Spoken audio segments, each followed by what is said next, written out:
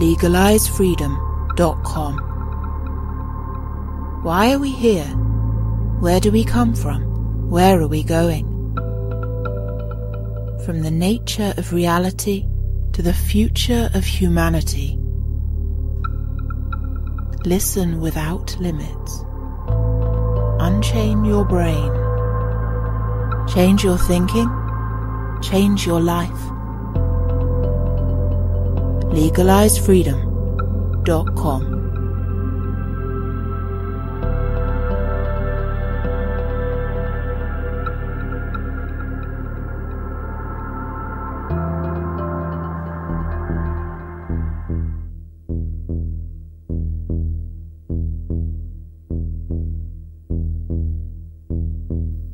Greetings and welcome once again to LegalizeFreedom.com. I'm your host Greg Moffitt and my guest today is James Howard Kunstler, who joins us to discuss the current coronavirus crisis and his latest book, Living in the Long Emergency Global Crisis, the Failure of the Futurists, and the Early Adapters Who Are Showing Us the Way Forward. In his 2005 book, The Long Emergency, Kunstler described the global predicaments that would pitch industrial civilization into political and economic turmoil in the 21st century. The end of affordable oil, climate irregularities, and flagging economic growth, to name a few. Now, he returns with a book that takes an up close and personal approach to how real people are living now, surviving the long emergency as it happens. Living in the Long Emergency could hardly have been published at a more opportune moment, as governments worldwide and billions of citizens grapple with an unprecedented global crisis. Despite constant words of warning from Kunstler and others, with a similarly keen sense of history and proclivity for joined up thinking, we remain woefully unprepared for any disruption to the complex systems on which industrial civilization depends. More likely than not, however, we will eventually emerge blinking into the glaring light of an uncertain new dawn. Whether we then change our ways or simply fall back into our former slow death spiral remains to be seen.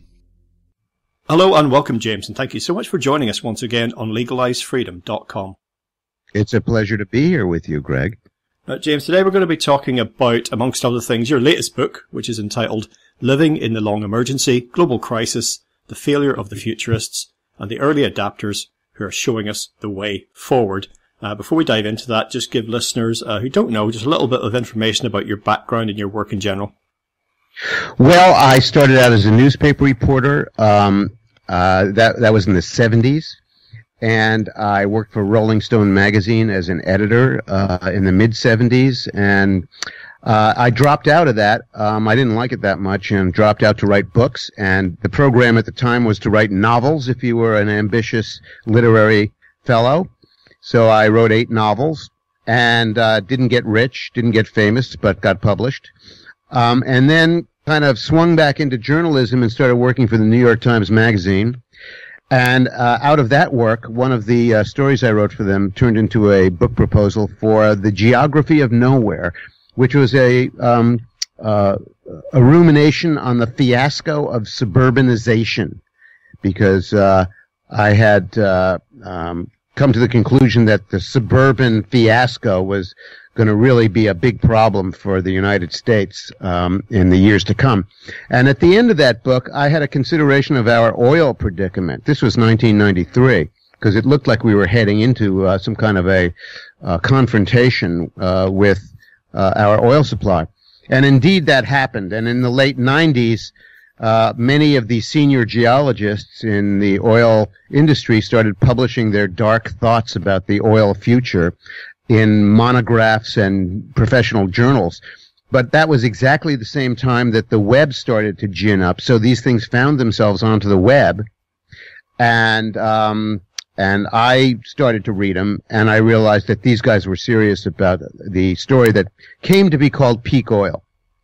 So uh, uh, after that, I, I, I, wrote a book called The Long Emergency, which was about peak oil and other problems that we were going to confront, including the problem of pandemic disease. I had a uh, a pretty comprehensive chapter about that and about Chinese bird flu and other things. in that 19, in that 2005 book, The Long Emergency.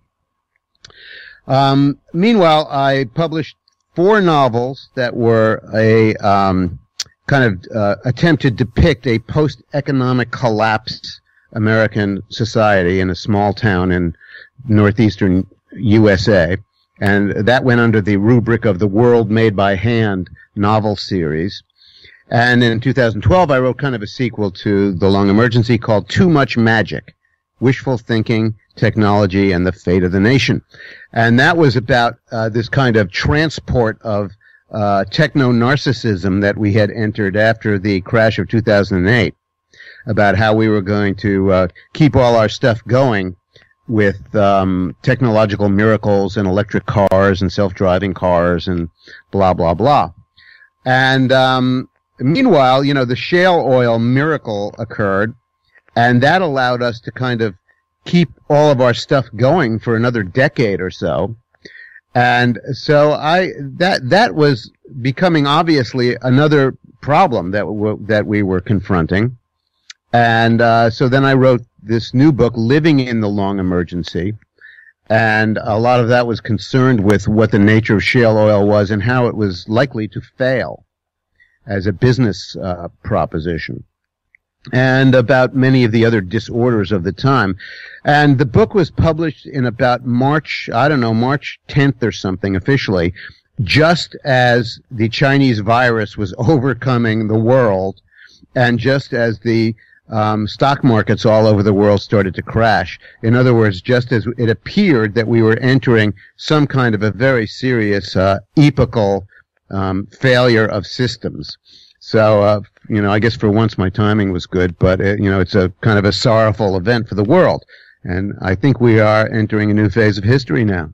As you describe the the general arc of those three books, uh, that being uh, the Long Emergency, Too Much Magic, and the new one, has been charting the end of this frenzied sort of fossil fuel free for all that we've been on uh, for the last hundred years or so and the, how the industrial civilization would unwind. And this current crisis really uh, illustrates a couple of things. One, of course, the the potential for um, epidemics and pandemics, you know, causes being various, but just how uh, you know interconnected globalization w- would um, affect the spread of them. But also, in a more general way, this is just one example of a case that how governments will respond, what sort of measures governments will respond. Uh, you know, lockdowns, other draconian control measures, and we're seeing a, um, a lot of the things that governments around the world are doing now could also be done in response to other things, but it just so happens right now we're seeing it in response to uh, this coronavirus. So, as you say, it, it, tragically very timely. Well, we've never seen anything like this in the uh, in the advanced world in my lifetime. You know, we've never seen all, you know, uh, a, a, great array of nations being in a state of lockdown, and we've never been in a situation where the rather uh, fragile global economy all of a sudden hit a giant speed bump, and uh, in effect, production has stopped all over the world and uh, everything connected with that production, including, you know, trade and uh, all of the normal professions and vocations that have to go on, and and the things that they depend on, and it's an absolutely extraordinary situation. I, I mean, the only thing that I can imagine really. Uh, would be some kind of a you know a wartime scenario of, and a very extreme one because the last time uh, our countries were in a a big war, um, even uh, you know regular commerce did not shut down, and the bars stayed open. So you know this is just something that that is uh, all new for us, and um, it's obviously very traumatic, and it's really hard to calculate what the effect of that trauma is going to be. Um, it's certain one effect is already clear: is that you know the disorder in our lives is making people a bit crazy. And we, we over here in, in the USA were pretty crazy before it started. Uh, our political scene had, had become pretty crazy. And I dare say yours in the UK, uh, had become pretty crazy too, based on what I've seen about the, um, extreme identity politics of the UK, uh, which I count as a, you know, a kind of, uh, pathology. Well, yeah, and it's, as you say, we've seen crises comparable in some ways before. You know, Spanish flu, as you mentioned, countries on a wartime footing where life is, is, is almost completely changed. But as the decades gone by and everything's become more in- interconnected, more complicated, more ramped up, um, more globalized, then every time a stress on the system, one part of the system is placed like this, the more it ripples across and the, and the larger the, the, the blowback seems to be and also the pace of movement. I mean, we're literally hour by hour, sometimes minute by minute. If you're following this, I, I mean, I don't see how anybody actually wanting to follow this globally could keep up uh, with the, the, the number of changes that are happening across a number of different dimensions. Yeah, um, I had to go on an errand today that was uh, something I, I, just couldn't dismiss because my computer broke down, uh, broke down hard. And I really didn't know from the time I uh, left the house to the time I got back, you know, whether uh, the governor of New York would shut down New York State because there's been chatter about that, and it, it, happened in California over the last 48 hours. So, you know, I didn't even know if the if the state would be shut down, and that, that's how fast events are moving. Well, and uh, you know, it, it's just very, very strange to uh, uh, just travel across the land and see everything that's shut down. And uh, I don't, I didn't even really dare go into a gas station and get a cup of coffee on the way back. The latest thing to happen here, like you know, as as of ten minutes ago, um, before we began to speak, was that the UK government had announced that all schools in England I think Scotland and Wales, it's already happened, uh, are going to close for the foreseeable future. Now, yeah. that's a big step for people here in the UK because although the similar sorts of things have been happening, for example, in Italy, my, my other half is Italian, so I've been getting frontline news about what's been happening over there, and they've been in quite a comprehensive lockdown now for weeks with the gains and losses that they perceive of doing yeah. that, you know, but it's just, as you say, it's just such a fluid situation. And when I tried to think about this happening in the US, I just thought about what you always have to throw into the mix in the US. I don't care whether you're pro or anti-gun, but you have to throw guns into the mix, you know? if you see what I mean, in terms of someone, I read it, I, somebody told me about a story and it was just one little vignette and it was somewhere in the in the US when they had uh, an outbreak, and there was locally it was like, okay, guys, you got to stay in your homes. You're only coming out for the following reasons. And this one guy in the street just refused to stay in his house, and they had to post a police officer at the end of his yard, you know, just basically to make sure he stayed because he would not stay in the house. Now, you only have to have one situation like that where the guy comes out of his house with his gun and says, "I'm coming out." Yeah, but uh, let's not forget that Europeans are quite capable of violent mischief on their own. You know, we've seen. I mean, just think of the things that we've seen in uh, France and, and Germany and the UK uh, and and other countries since uh, all those Syrian and Middle East immigrants came across the Mediterranean. And, you know, you, you have nightclubs being blown up and auditoriums being stormed with uh, automatic weapons and, uh, you know, knife attacks and people driving vans into Christmas fairs. You know, there's no shortage of an ability to make mischief there. Um, you know, in America, uh, it's hard to say if this is not characteristic of everybody who is now, you know, uh, in an advanced Western country. But uh, it seems to me that Americans tend to live more as if they're in a TV show or a movie. You know, that that their their um, grasp on reality is perhaps a bit more tenuous than other people in other lands. So uh, there's plenty of room for mischief. I actually haven't seen any sign yet of any kind of uh, you know insurrection against the government or anything like that. People here are, are taking it pretty uh, calmly mm-hmm. and going you know doing what they can. But you know they've only been in you know in the case of California and maybe one or two other places, uh, some cities, New York City, they've only been under lockdown for you know 48 hours or less. So God knows what happens after, you know, three weeks if it continues. Well, I know in Italy, they've, you know, people have been going kind of quietly and saying sort of like, you know, talking to their friends over Skype or whatever, saying, yes, I want to kill everybody in my family, you know, because they've been in, oh, well. with, for weeks and weeks and weeks, you know, in the same, in the same place. Yeah. But, but equally, if you go out onto the streets. Apparently, they've mustered enough police for the for the sufficient presence to be there, so that it's like, okay, where's your permission to be out? You haven't got any. 200 euro fine. Slap. There you go. Uh, people are very, very cautious about being out when they're not supposed to be. Well, of course, the whole physical layout of life in European towns and cities is so much different because in America we have this just tremendous, uh, just vast amount of ambiguous, nebulous suburban uh, nowhereville where all kinds of things happen, you know, and people can, you know, it's just not as easy to control. And, uh, I can see that becoming a problem here for us you know, before too long. But it really depends how much uh, people are suffering. There, there were an awful lot of people in the United States who, uh, you know, as the saying goes, don't have four hundred dollars to cobble together for a domestic emergency, like a, their car breaking down or or a child getting sick, because in America, you know, we have the a kind of a health racketeering system, and um, you know, th- those people uh, there are, must be many among them who were not well prepared to be locked down for any period of time, and God knows what's going to happen when they get hungry and desperate. So uh, we'll see about that.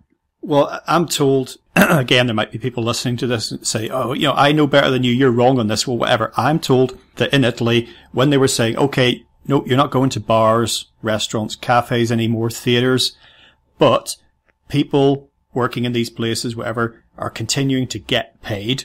And that makes it sort of enforceable. It makes it feasible for the short term.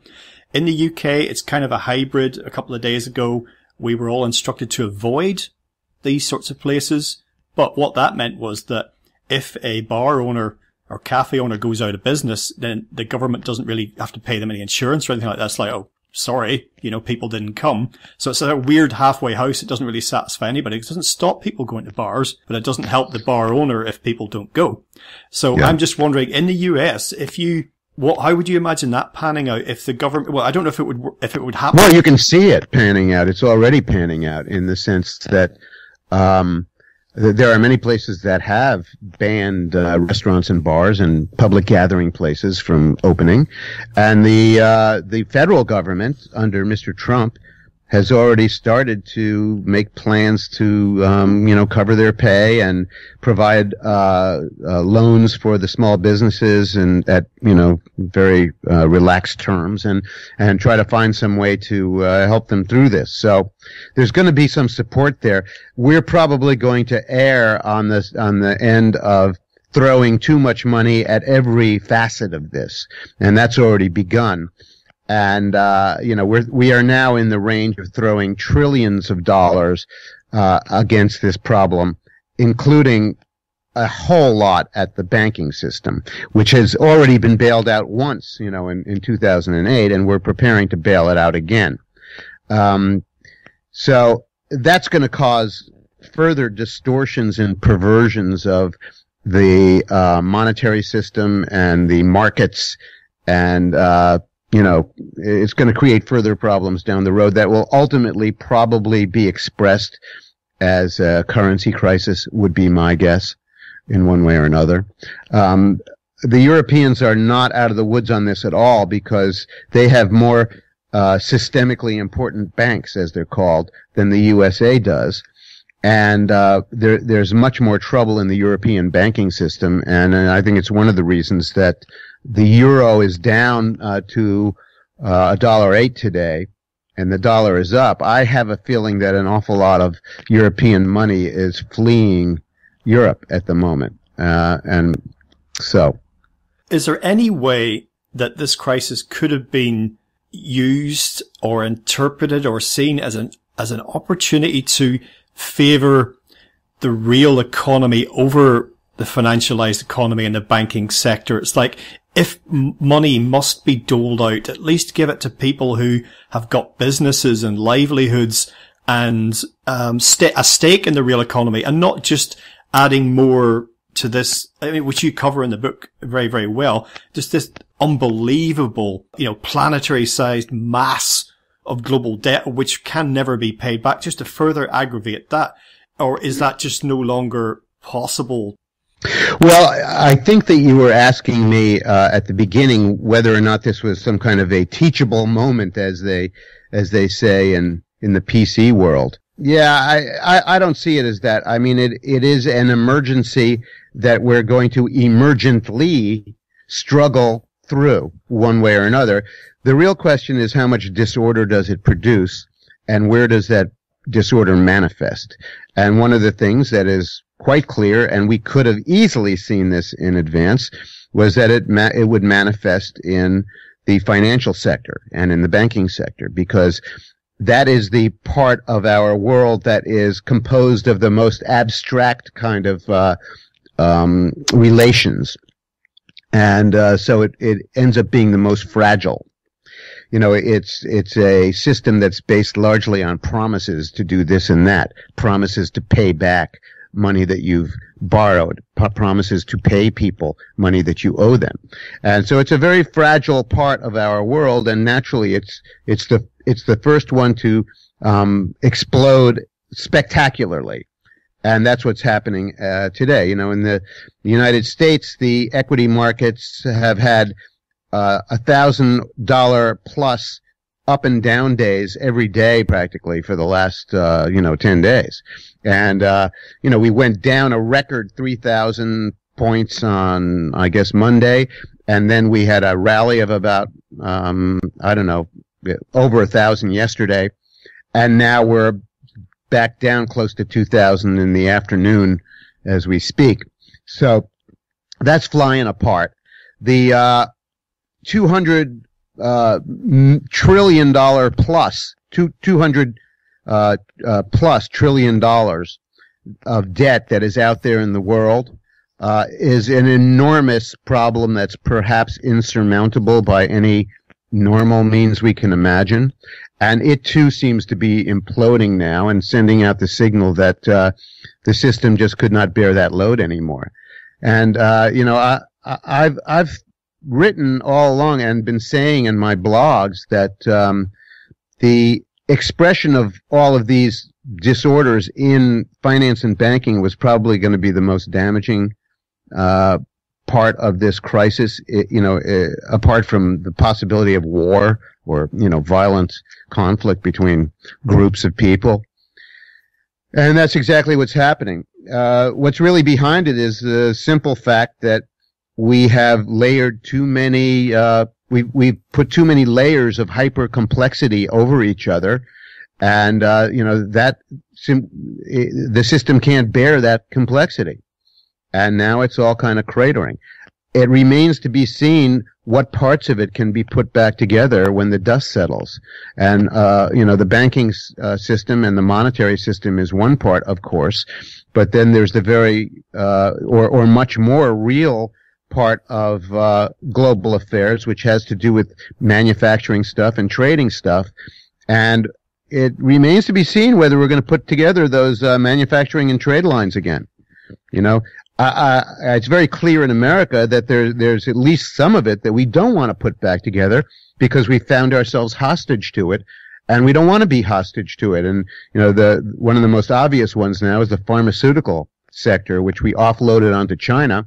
And now that there's so much ill will between the USA and China, uh, you know, they're making a lot of noises like they they're not going to give us our pharmaceuticals, and uh, you know, won't that be uh, a grand thing uh, for a lot of people? So, uh, you know, th- th- that's sort of the the basic outline, I think, of uh, of where we are, short of other you know black swans and and bad turns that that have not yet emerged. Okay, well, I mean, so much for what's happening currently. We can, we can return to that, but what I want to mention is, uh, you were saying that, you know, when, when the rubble stops bouncing, as it were, you know, what, what will we be looking at and the dust clears? Uh, one thing we will still be facing is our general predicament, the one that you've been writing about all this time, our dependency on fossil fuels and the industrial civilization we built with those and what's happening to that as the fossil fuels become depleted. Uh, early on in the book, you mention that, uh, you can correct me if I haven't got this quite right, that uh, 30 years ago in the US, something like 89% of the electricity supply came derived from burning fossil fuels. And today it's something like 85%. Now, this is in the, the context of thinking about renewables and how we change our energy balance.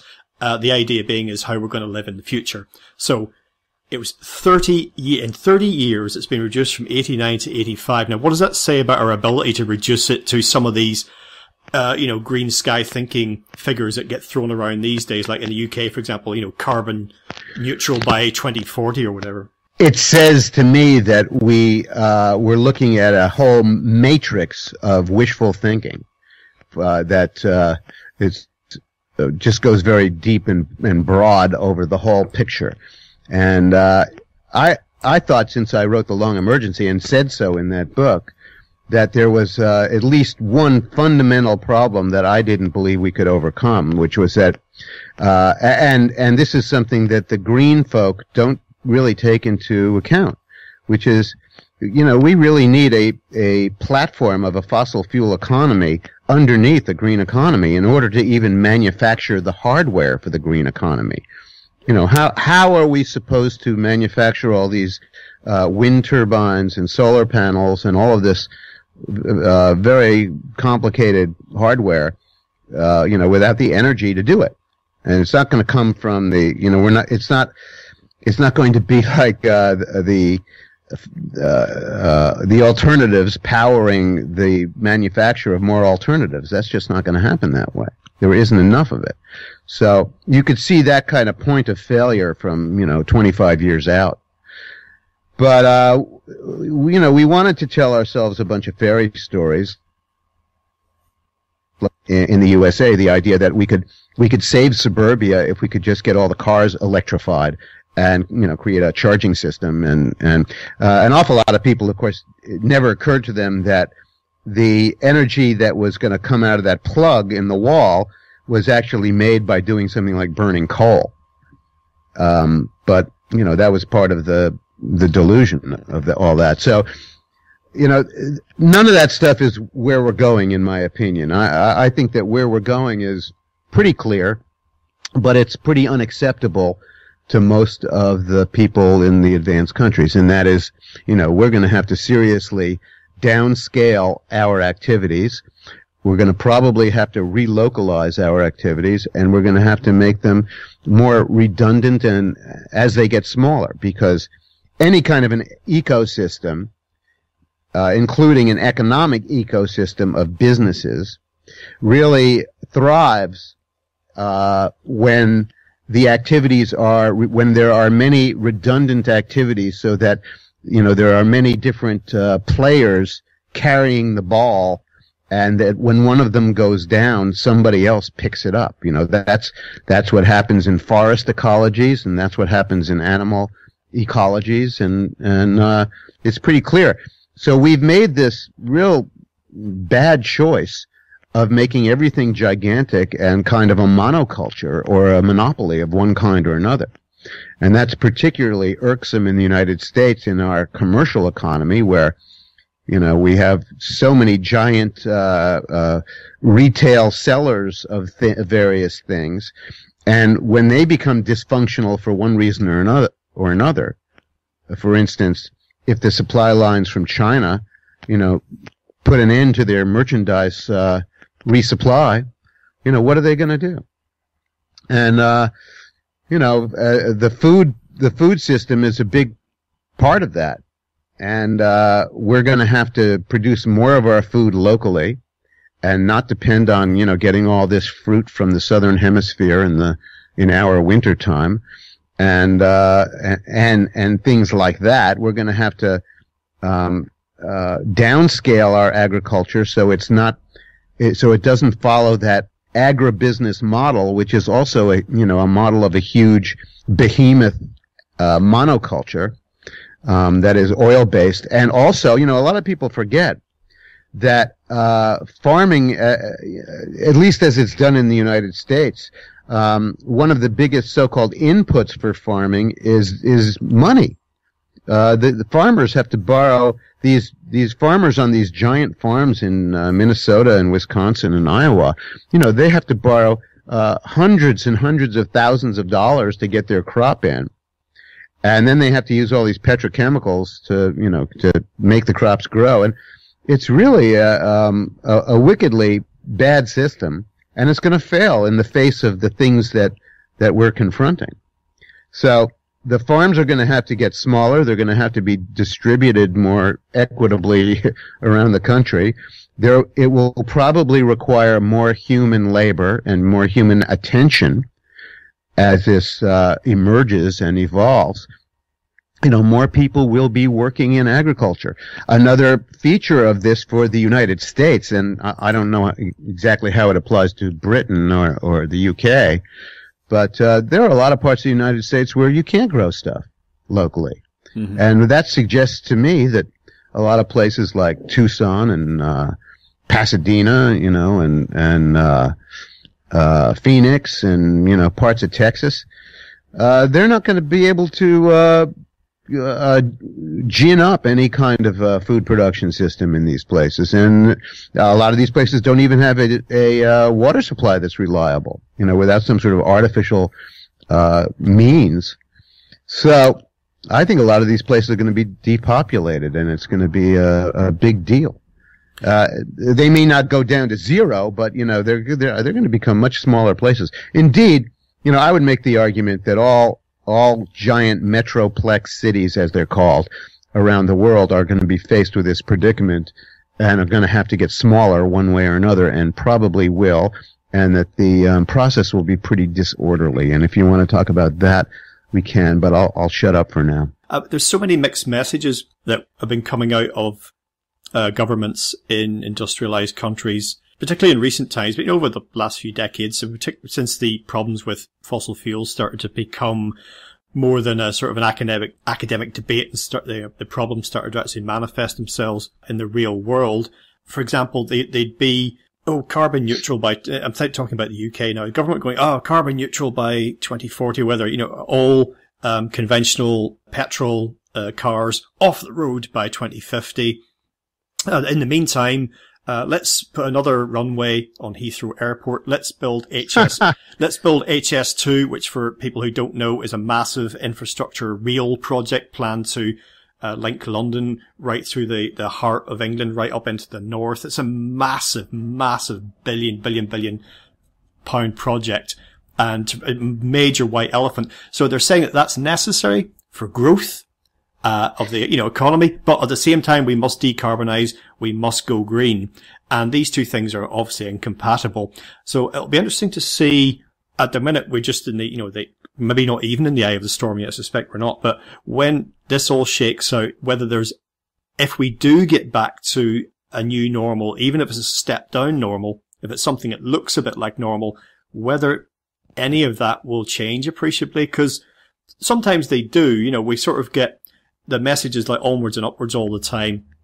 Techno utopia and the stars, but every now and again we get whacked so hard that it's like, you know, we don't quite get back to where we were before, and then at some point we'll stagger along and get whacked again, and we don't quite get back to. Now it's that kind of step down process. Yeah, so, well, that's John Michael Greer's uh, step yeah. down descent you know, and I think he was largely correct about that. I, I always admired that point of view. So, but that, that, that's why I'm wondering if, if the, you know, the mixed messages always used to get me because, for example, just yesterday, in the middle, having been told that my place of work is closed for the foreseeable future, I took a train journey and passed through the heart of Manchester, one of the big former industrial cities, still one of the biggest cities in the north of England, and left, right, as you, the train made its way into the main terminal, the cranes in the skyline, the construction, you know, yeah. apartments, accommodation for Chinese students, uh, all of that just continues apace. And of course, it's not going to stop in 24 hours, but it really brings your mind to focus, I think, when you're looking at that stuff and then feeling what you're feeling in the middle of this. Oh, it's a gruesome spectacle. You know, I, I get the same feeling when I go down to New York City and I see all those cranes hoisting the giant skyscrapers. And, uh, you know, I came to some, some conclusions about that a while ago and, uh, I, I talked about them in Too Much Magic and also in the new book, Living in the Long Emergency. These, these projects that we did, you know, they're, they're going to overnight be converted from assets to liabilities especially the skyscrapers, the tall buildings. And I'll tell you why. Uh, you know, a lot of people think that it's because oh the the heat and the air conditioning and the uh, elevators are going to require so much energy. That's not really it. the The problem is is that they will not have any capacity for adaptive reuse. And if you can't do that with the buildings in the city, then you're not going to have a city that can emergently, you know, reorganize and adapt and and and grow according, or not not not, not even necessarily grow, but adapt according to new circumstances. So, uh, you know, a lot of the green talk about um, uh, that, a lot of the green talk that you were uh, describing about uh, carbon uh, neutral taxes and and arrangements you know, you really have to write that off simply as just political virtue signaling. It's no more complicated than that, and it's at odds with that the the the with the basic problem of facing uh, a world that is not going to know the kind of economic growth in uh, um, quotation marks growth that made the last uh, you know ten decades possible. Because we are now going into a period of comprehensive contraction and we're not going to be able to make uh, we're not going to be able to grow largely because the um, the picture on the energy return on energy produced is uh, changing. And it's the the ratio has simply gotten too low. We're not we're not getting enough back for the amount of energy that we're putting into it. And that kind of prangs the whole system. So uh, our system really depends utterly on the the quality of the energy inputs that come in and and um, how cheap the, they they can be, and we're leaving that era of cheap energy behind. And the institutions and structures that we've erected, the financial structures especially, um, cannot survive a period of no growth because uh, what no growth really says is that the debt will never be repaid and that the whole system ends up being a Ponzi scheme. And what happens to Ponzi schemes, unfortunately, is they collapse. And sometimes they collapse pretty catastrophically all at once. And uh, I, I, think we must be uh, dazzled and alarmed and very impressed at the speed that the current collapse uh, is is is going through or appears to be going through for now. You know, who knows? Maybe it'll all turn around in two weeks, but I kind of doubt it. I think that the damage is uh, that a lot of damage has already been done, especially psychologically. You know, America is not going to continue to uh, uh, engage in these trade arrangements with China that we've had. You know, we're we're going to be forced uh, to at least think about how we're going to make stuff again in North America. And, you know, the problem with that, as I just said, is that the, the, you know, the basic energy uh, economics has changed to the degree that it's not going to be 1960 again. We're not going to make things like that again. We may be reduced in scale to the shocking degree that we have to depend on water power and hydroelectric just to make a few things. I mean, you can make things with hydroelectric and you can make things with direct water power. But, you know, you're talking about going back to a kind of, uh, you know, uh, an 1883 level of, uh, uh, of an industrial economy if you're lucky. And, uh, these are ideas that I don't think most, uh, thinking people in the advanced economies are ready to entertain. No, you mentioned psychology there, and that's one of the most important dimensions. Before we close out, I was going to ask you about, you know, uh, we're going to get to like what, what, what now, you know, what can we do what, to be positive? You know, what can people listening to this do? But now that we've touched upon psychology, that can be, that can make the difference between survival or not in a stress situation. I think whether it's a, you know, an immediate fight or flight, you know, you're being chased by a mugger or whether it's something a little bit more medium term, uh, near term, like what we're looking at now. And I'm dismayed to say, but not surprised to say, I mean, already see, albeit very low level, very manageable, but just the initial signs of just total irrationality when it comes to behavior of members of the public. You know, it still looks pretty much the same when you look out the window, but yeah. starting to see, starting to see that, you know, cracks at the edges, let's put it like that. Well, it's really only been a couple of weeks that the problem really came on the world's radar screen, and in mm. the West anyway. And I mean, here we are, really only about five days into this thing, uh, you know, for uh, for the USA anyway. And uh, it, it's it's just overwhelmingly fresh and scary. And you know, I, I live in a pretty quiet corner of the USA in what we call upstate New York. I'm about 200 miles north of uh, New York City, and about 200 miles west of Boston and equally south of Montreal. So it's pretty rural here. Uh, the small towns are the flyover places where the economy actually died uh, uh, quite a, you know a number of decades ago. So people have gotten used to hardship of a ver- of, of various kinds. Um, but they have been able to um, survive on government largesse and the dole and, and things like that disability payments from from our Social Security. Um, I, I, don't know. I don't know what's going to happen with those folks when they, uh, you know, when they really get desperate, and if this thing goes on for a matter of weeks. And uh, I think that there's a pretty good chance that we may not really be able to conduct an American election this fall. It's it's a possibility. It would be pretty harsh if that happened, but uh, uh, who knows? You know, it's it's possible. Um, I, I certainly think that uh, I certainly think that there's even a greater percentage chance that the party nominating conventions may not be able to take place because generally they take place in the early summer, and for all we know, this problem's still going to be around. Well, one of the first things that um, I noticed that most people didn't really pay much attention to in the news here was local council and mayoral elections postponed for one year. One year. Yeah. And I, there was one local mayor on the radio just going, well, you know, my wife's not well and I was retiring this year and I was going to look after her. And now I've been told I'm going to do this for another year. And the, the guy interviewing said, well, can't you just walk away? Say, that's it. I quit. And he was saying, well, yeah, but I'm thinking about the community because he's talked about, he said the cost of staging a new uh, campaign. He said that's going to involve everything that we're trying to avoid by postponing the elections for a year. But my main thinking was, wow, just like that, no elections, yeah. no elections, elections, no. Ele- you're not having. Never mind cafes and bars, no elections. Well, I think that what you're saying is that these things tend to thunder through a culture and thunder through a society and an economy, and uh, that's that's what we're seeing. And the, there's no telling how many arrangements that we're used to are going to be upset. And I imagine quite a few of them. And uh, in the process, they will probably mutually reinforce each other's fragilities. And so that's another problem with hypercomplexity.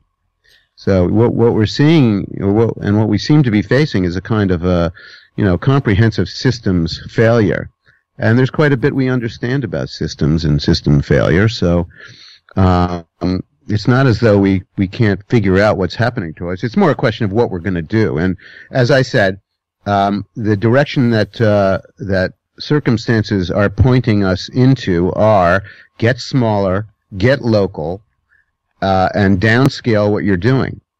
And uh, unfortunately, if we spend too much of our remaining capital of every kind propping up hyper complex arrangements that really can't be kept up under any circumstances, you know, instead of using what capital we have left to rearrange life in advanced societies, then, you know, we're going to have a problem.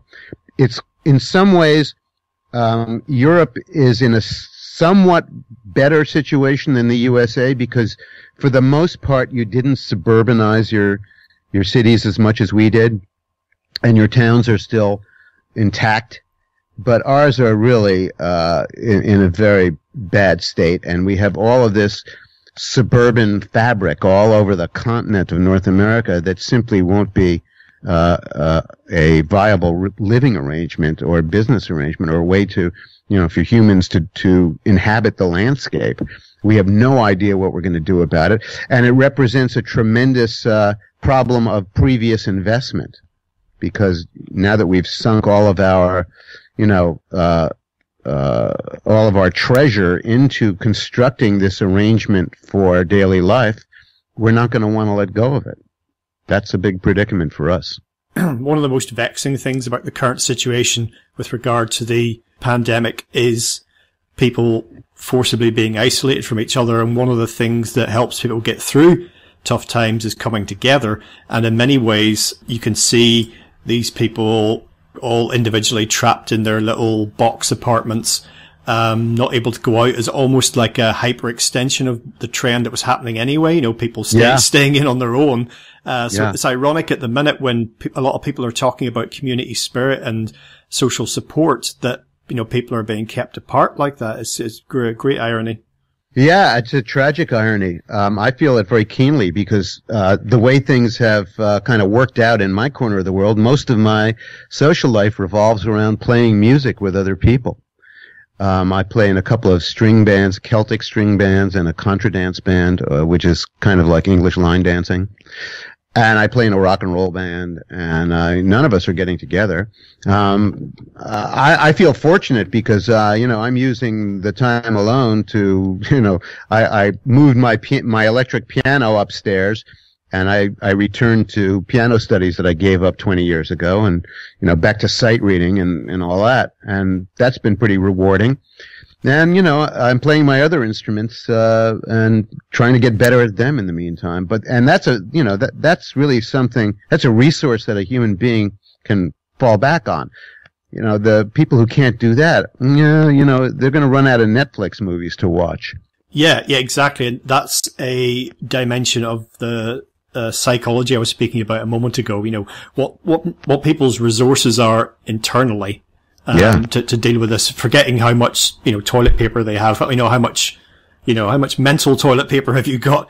Yeah, now, so to speak. one of the most interesting responses, but when I noticed it entirely, it made sense. It was predictable uh, to this was, and it was on somewhere on social media, and it was some organization such as the Post Growth Institute, and they were waving a little flag and saying, "Hey, folks, what about looking at this, you know, as maybe what we need to do?" How the world needs to be, how it could be, what it might have to be. That is to say, you know, deindustrialization, less people with less stuff doing less things or different things, local, less frenzied, all of the above. And that just from their point of view. And I thought it was interesting. And I don't think anyone was really paying attention, but it was just, they, they saw a kind of a chink there and just thought, you know, there, this is, could be a window onto, you know, a more positive vision of the world.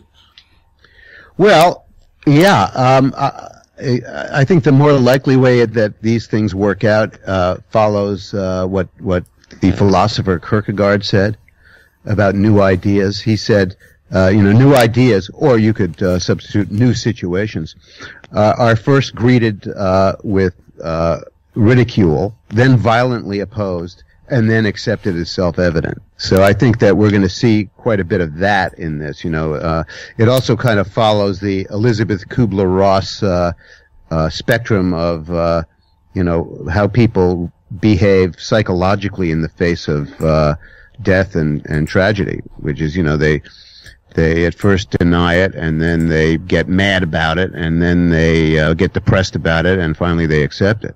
You know, to me, as I said, the, the direction that we need to go in is probably pretty clear, and I hope we can direct our our social capital and other capital to uh, downscaling and and and decomplexifying and simplifying uh, life in the civilized nation, so we can continue to be civilized. Uh, you do touch upon this briefly in the book. Now, you talk, of course, about technology and over complexity or, you know, high complexity, excessive layers of complexity upon complexity and how all that, you know, complexity is used to solve problems caused by complexity, et cetera, et cetera, and how, where all that ends up. Yeah. But, uh, there's a particular dimension of technology that you address in the book, which I've got a particular interest in, and which is the mania for artificial intelligence, and space technology and where, you know, human augmentation, life extension, this whole subset, which involves very, very few people, but it gets a lot of headlines. Um, you know, whether it's people like Ray Kurzweil with his transhumanist thing or Elon Musk with his like, what does he want? A million people on Mars by 2050, I think was the latest. All of that. I mean, I've always been very interested in technology, uh, you know, robotics, the possibilities of AI, And from when I was a child, I looked up at the, the night sky and been endlessly fascinated about possibilities.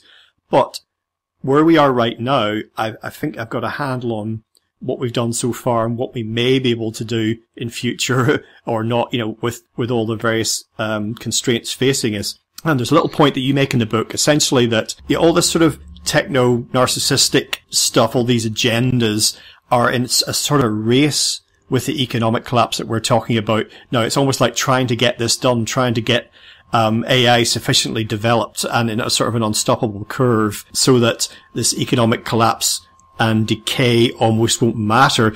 Somehow the idea being that, you know, if we can upload minds or get somebody to Mars, it'll, it'll profoundly affect uh, our predicament on Earth. Well, you know, the, the stuff that is, the part of that that isn't laughable is just scary.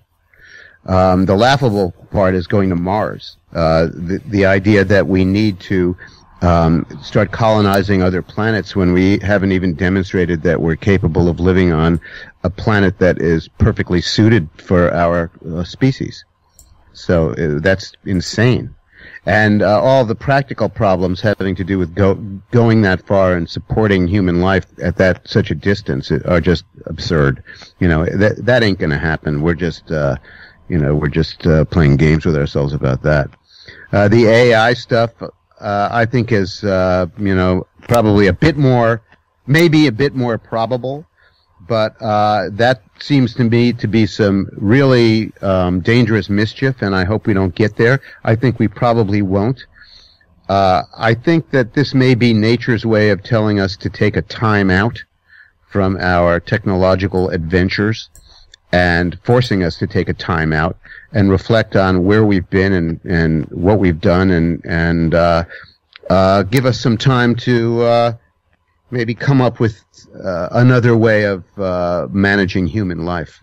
I, I think we're going to get it good and hard, and, and it's going to uh, change a lot of things. Remember, you know, when the Romans left Britain, the Britons forgot how to make pottery and stopped bathing. Civilizations can grind grind down pretty quickly. I, I, I kind of think that we're heading into a, a, period of human history that might be called neo-medieval. Uh, if we're lucky, it'll be, uh, you know, uh, neo-medieval with perhaps some uh, artificial lighting, so we can do things at night at home. And uh, uh, but I think that's sort of our destination. And the the rest of this techno narcissism is just us, you know, um, diddling ourselves. And and uh, now that we're in an emergency, I think that we're going to uh, sooner rather than later probably get more real about what we're doing. That's an interesting combination of terms used there, mentioning neo-medieval, but also mentioning the, the Roman Empire. Uh, someone might say yeah. they look back at you know ancient Rome, ancient Greece, Egypt, and say those in their own way were great civilizations in their time and look at what they built, look what they achieved without fossil fuels, um, without industrialization. But was all that just down to, well, yeah, but it was, it was, it was human slaves that did that. That's right. But it was, but it's staggeringly impressive. You know, I, I, I remember being in, uh, southern France two years ago, swimming in the river uh, under the Pont du Gard and uh, the Pont du Gard is this awesome Roman aqueduct and, and bridge that goes across the Gard River, and the you know the scale of it is just stupendous. Uh, it's it's very uh, it's it's rather painful to try to place yourself in the imagination of uh, a person living in the dark ages, seeing the ruins of all these things around them and, and by the way, in the year 800, a lot of these things that are ruins today were still in much better condition than they are now. So, you know, imagine a, a medieval peasant in Normandy or, or, you know, anywhere in, in continental Europe, you know, seeing all this stuff and, um, just thinking that a race of giants must have produced it. And we're liable to find ourselves in a similar kind of situation where our descendants look around at, you know, at the skyscrapers that we left behind and the bridges that we left behind, and they just won't be able to conceive of how we possibly built all that stuff. Well, science fiction is stuffed with uh, narratives like that, isn't it? And yeah, it's, pe- it's true. It's not an original thought, and I apologize for that. No, no. I, what I simply meant was that, that, that people's response quite often they're tempted to respond by, "Well, yeah, but you know, we've got such a detailed record of what happened in our age, and if it, you know, if it does decline, well, people will be able to read all the books and look at all the multimedia and stuff. But that, well, mm. well, look how little of the Roman Empire actually did survive in writing. So, so little of it. As a matter of fact, you know, the Romans must have had a very complex uh, music culture. There's no record of what what their music sounded like. We, we, you know, they didn't have musical notation. We don't have any scores of Roman music. We have no, you know, we have no idea what it sounded like, and it's all lost. And uh, you know, the libraries of the Roman Empire were destroyed, and very, very few of their scrolls or manuscripts really made it through to the Renaissance to be copied and uh, you know and and brought back to life. And I don't know. I, I I can see a very similar thing happening with us. It's it's a to me quite a tragedy that the university libraries in the USA made a decision about 10 years ago to get rid of a lot of their books and go electronic and digital because I, I, don't have a whole lot of confidence that that digital information is necessarily going to survive or be replayable in in the future. That that is the key, and I suppose you're you know like 500 years from now, you're some young kid out playing in some waste ground, and you know you're you fight, see something shiny in the dust, and you dig up this like you dig up this like disc. You know, a this, CD. Yeah, exactly. This circular disc, and you look and you see your face in one side, and you kind of, you know, you take it home and you ask your dad what it is and he doesn't know and, but, you know, maybe granddad knows and granddad goes, ah, you know what? I, I heard about something like this. Yeah. And so what do we do? Uh, we put a piece of cord in it and we hang it in amongst the berries to keep the birds away. And, That's uh, exactly what I do. yeah. so, but the point is that the information on there doesn't get retrieved, you know, so. Yeah, sure. As we uh, begin to bring things to a close for today, it's just a couple of points I wanted to ask you about um, one is population, um, because again, it's something that a lot of people don't want to talk about, whether it's population growth, but particularly population reduction. But if we look medium to long term at the sort of contractions you're talking about, it means less people. Now, for a lot of people, they immediately get, whether they're pro or um, really nervous about population reduction, they start to think about mass die-offs, pandemics, for example, uh, war, famine, and these things have, you know, been part of human history throughout the past. No doubt they'll continue to be no matter what we like to think. But the sort of population reduction I'm thinking about is less people being born. And this is commensurate with an end of, you know, exponential growth on a finite planet. But it's still something that people don't want to talk about because on one hand, people will say, oh, you know, there's too many people, we're being overrun and 7 billion, 8 billion, where's it going to end? But if you say, well, what about your own hometown? you know, look at Detroit. You know, what about your own hometown being 200,000? Now it's 180. 10 years from now it's 100. You know, there's something unsettling about that for people. Yeah, um, I can understand why. And um, I don't think that we're going.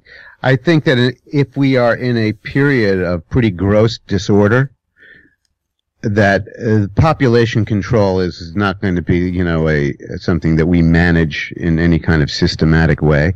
We, we didn't even, we weren't even able to manage it when uh, at the height of industrial civilization, when everything was stable. So we're certainly not going to manage it when everything is in flux. Uh, I, I, imagine that the you know the various horsemen are going to all be there riding down the plain, and uh, you know that's that's all very possible. There's, it's likely that there will be people starving, and and it's possible that we'll have uh, some kind of uh, continue to have kind of wars and fights over resources, and uh, disease is certainly another issue, and um, we're going to have to face those, uh, you know, clear-headedly. We'll see what happens. I don't think that there, there's really no kind of uh, feel-good story about that um, you know, we're going to get to where we're going to get to um, emergently, and and you know, history ha- has a way of doing what it wants to do with us. Maybe a last thought is that you know your book is very bold in its assessment of where we've come from, where we are, where you feel that we're headed. You know, backed up yeah. by a lot of evidence, but it, your book is, is definitely not without hope. And one of the, the centerpiece of the book, which we have not actually talked about, and people should buy the book, is stories of individuals who you've come to know over the years. And these are the early adapters in the book's title.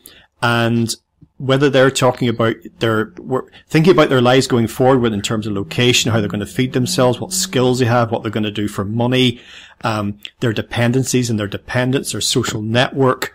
Um, are they in any condition to adapt to the changes coming down the line? These individual stories are at the heart of your book, and I just want to ask how you, how you went about choosing these stories, or did they choose you? And what, what did you? How was that journey for you? Because I think you went and visited with all these individuals, didn't you, to speak to them? Oh yeah, I traveled around the United States to visit with these people.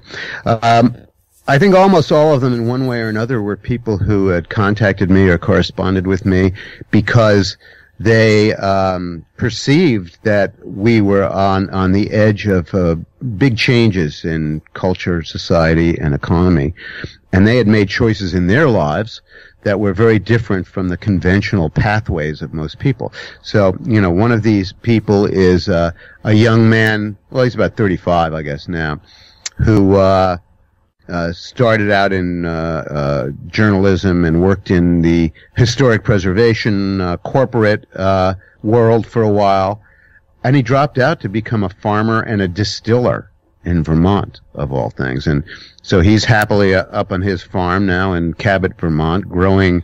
Um, growing a, an heirloom kind of corn and distilling it into whiskey, and he's an interesting dude.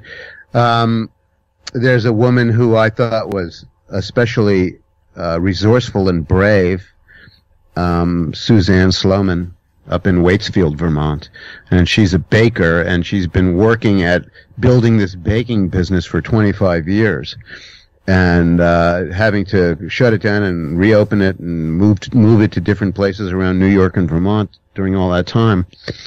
And I just thought that the you know the story of her pluck and resourcefulness would be interesting to readers. And um, there were there were all there are a couple of homesteaders in there. Um, there's a guy who uh, is out in Wisconsin who believes in uh, reviving a, or, or, starting a kind of forest-based uh, agriculture or silviculture, as he calls it, that uh, would uh, allow us to grow food in a m- much less intrusive uh, uh, mark on the landscape, and to produce a lot of it in quantity, um, and to do it in a very different way than agribiz. Uh, two of the stranger characters in there. One was uh, a character who is a white nationalist who um, has been corresponding with me for many years. Um, he's not a terrible person, but you know he represents a uh, a philosophy and, and a body of ideas which a lot of people find repellent. Uh, but I felt that it was important to include him in the book so people understood w- w- what his thinking process was and, and what he was, uh, you know, what he represented. And I, I, didn't want to just sweep that under the rug. Um, similarly, another character who I came to know was a, uh, a, a black man about uh, 55 who lives in, he's kind of a, an intellectual, uh, and he lives in the Baltimore ghetto, but he's an extremely resourceful and also a very solitary figure in that, in that particular world. And I thought that he was kind of a, uh, he was a very interesting character. I wanted to write about his struggles and what brought him to the place that he's in. So th- that was the range of people who were in there, and and uh, it'll be interesting to find out what people think of those portraits. I, I haven't really gotten much feedback uh, from this book. It's only been out about a week or 10 days. And one of the things that happened in the USA, perhaps in, in Britain too, in the last 20 years, is that the whole book reviewing uh, um, institution just died. Uh, you know, the newspapers no longer pay people to write about books and talk about books, and um, the you know everybody who used to do that, the magazines, the radio stations, they just don't do it anymore. So uh, there's there's al- almost no reaction once it, once a book is thrown out there in the the arena. It kind of lands with a thud, and uh, you know, unless unless uh, you know, unless you're a celebrity or something, and maybe people talk about it then. But so that whole uh, scene is kind of weird, and uh, I don't really know what people think about this. So uh, I guess I'll hang around and wait. Maybe a few podcasters will tell me. So the the, the book lands in the the arena with a thud. There's a cloud of dust, and there isn't even anyone there to do a thumbs down. You know. yeah, it's like that old joke about uh, you know if if Helen Keller walked through the forest and the tree fell down, did you know did anybody hear it? exactly. Well, in any event, uh, the book, your new one, is entitled "Living in the Long Emergency: Global Crisis: The Failure Failure of the Futurists." and the early adapters who are showing us the way forward. Before we sign off, tell listeners about your website. Uh, there they can also find details of all your other books, your podcast, and of course your blog, uh, Clusterfuck Nation. Yeah. Well, I am at uh, www.kunstler.com. That is K U N S T L E R dot com. My blog, Clusterfuck Nation, comes out twice a week. It's published uh, on Mondays at 10 a.m. Eastern USA time and Fridays at the same time. It, it, it's always up, come hell or high water. And my podcast comes out about every three weeks or so, and it's called the Kunstler Cast, and it's there on iTunes if you want to go grab it. And that's uh, what I do. And you know, I, I also publish books now and again, every couple of years. So that's that's my vocation, and that's my little world. Splendid. Well, James, thanks for joining us once again on legalizefreedom.com. It's been a pleasure talking to you, Greg.